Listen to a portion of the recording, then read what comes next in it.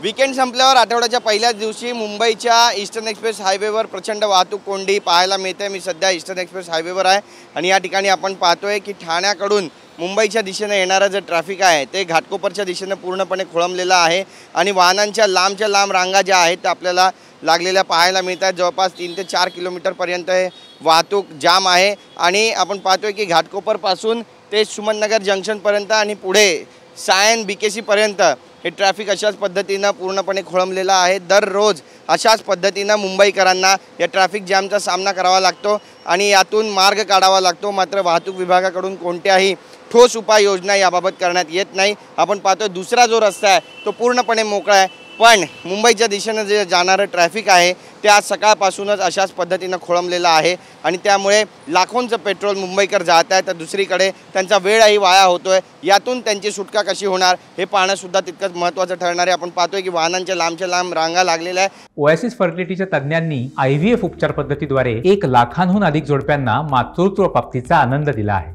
मोफत appointment book करण्यासाठी आजच संपर्क साधा. जवळपास अर्धा ते पाऊण तास हे ट्रॅफिक अशाच पद्धतीनं उशिरानं सुरू आहे आणि त्यामुळे यावर लवकर उपाययोजना कशा पद्धतीनं करण्यात येणार याबाबत प्रशासन काही ठोस निर्णय घेणार का? पाहणं महत्त्वाचं ठरेल. Camera person Siddhesh नाईकसह Girish Gaikwad T V nine Marathi Mumbai.